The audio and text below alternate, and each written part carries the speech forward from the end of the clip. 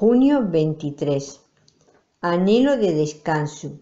Venid a mí todos los que estáis trabajados y cargados, y yo os haré descansar. Mateo 11, 28. Lectura adicional recomendada, Salmo 62. Cristo invita ahora bondadosamente a ser sus discípulos a quienes estima oportuno, aunque está dispuesto a revelar al Padre a todo el mundo a la mayoría no les preocupa acudir a Él porque no sienten que lo necesiten.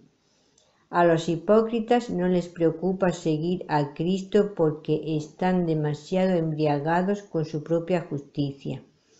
No tienen hambre y sed, Mateo 5:6, de su gracia. Además, quienes están entregados al mundo no conceden valor alguno a la vida celestial. Sería inútil, pues, que Cristo invitara a esta clase de personas a venir a Él. Se dirige, pues, a los miserables y afligidos que arrastran una carga apesadumbrados.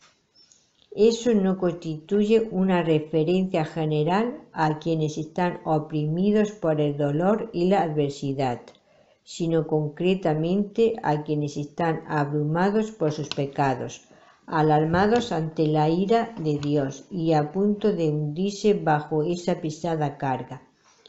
Dios se vale de diversos métodos para infundir humildad a sus elegidos, pero dado que la mayoría de las personas aplastadas por la aflicción persisten en su rebelión, Cristo llama concretamente a aquellos cuyas conciencias se sienten angustiadas por el temor a la muerte eterna. Sus vilezas aplastan su espíritu de tal forma que desmayan, y este desmayo los prepara para recibir la gracia de Dios. Jesús nos dice que la mayoría de las personas desprecian su gracia porque no son conscientes de su pobreza. Pero su orgullo o necedad no es razón para disuadir a las almas afligidas que anhela descansar. Meditación. ¿Te sientes desbordado por el peso de tu pecado? ¿Te sientes oprimido por la idea de presentarte ante tu Creador y Juez eterno? Anhela ser eximido de su ira inminente? De ser así, Cristo te invita bondadosa y delicadamente a acudir a Él. Él te hará descansar.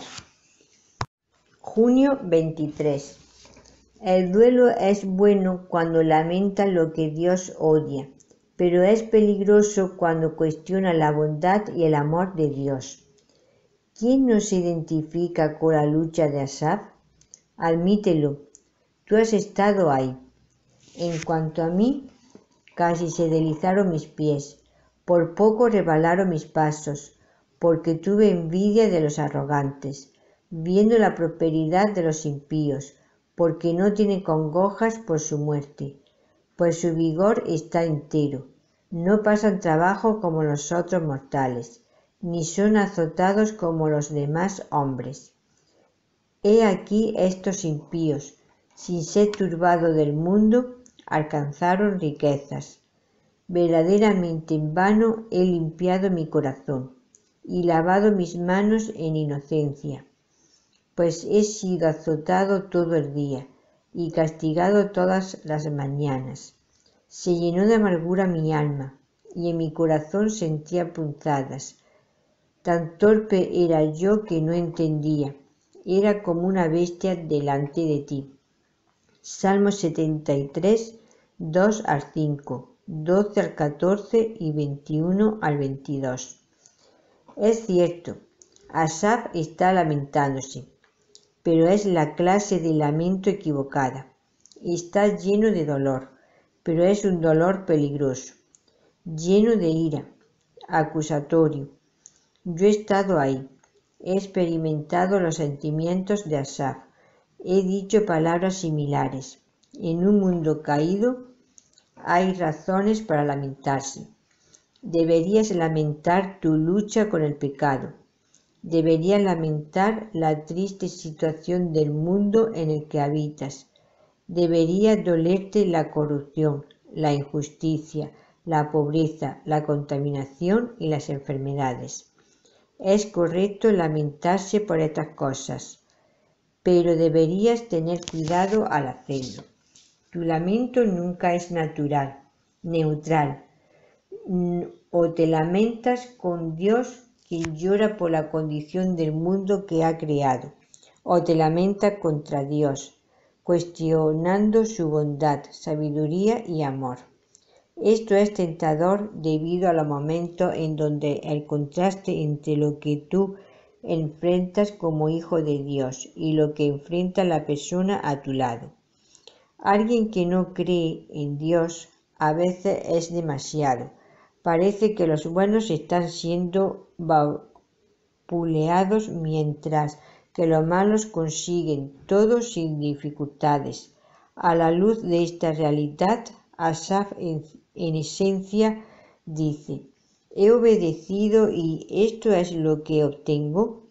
Es un arrojo de ira en contra de la bondad de Dios. Cuando no entiendas lo que está sucediendo, corre hacia la bondad de Dios, en lugar de cuestionar su existencia. Di con Asaf, mi carne y mi corazón desfallecen, mas la roca de mi corazón y mi porción es Dios para siempre. Versículo 26. Para profundizar y ser alentados, Salmo 74.